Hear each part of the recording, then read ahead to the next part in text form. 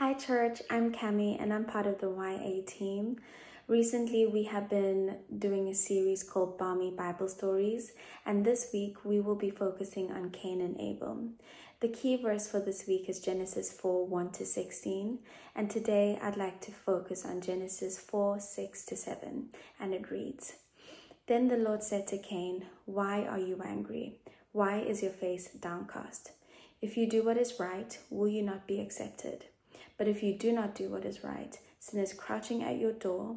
It desires to have you, but you must rule over it. Church, I'd like to speak to you about doing the right thing. The story of Cain and Abel, it's an interesting one. They are the world's first brothers. They are different in many ways and they're similar in some. The one worked with cattle and the one worked the land. Um, we don't know much about their relationship, upbringing, or life, but we do know that they, knew God and that they had a relationship with Him. They may have walked and talked to Him like they would their father Adam. And we know that God loved them and He loved spending time with them. What we see from Scripture is that they both they both brought an offering. Abel's offering was the fat portion of the firstborn of his flock. He gave the best and the first, and God was pleased with this. And it showed Abel's love and his honor um, in the fact that he didn't hold back from God. He did the right thing. On the other hand, though, the Bible says that Cain brought some fruits of the soil. And we get the picture that this was a measly um, handful and nothing really special. It lacked love and it lacked honor and it wasn't the right thing. God wasn't angry though. He he just knew that it wasn't right. He talks to Cain and he and he says to Cain, "Why are you angry? Why is your face downcast?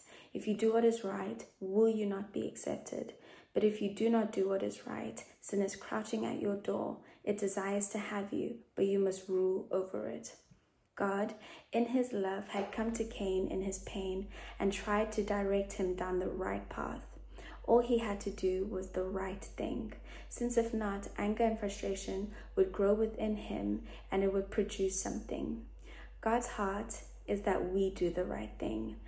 He knows that throughout our lives, we will make mistakes, we will make the wrong decisions, we will make the wrong choices, and we will say the wrong things. He knows that sin is crouching at the door, wanting to have us. But He has given us the power to rule over it. Over these next four days, we will look at the power that God has given us to do the right thing. I hope you have a great day today, church. Bye.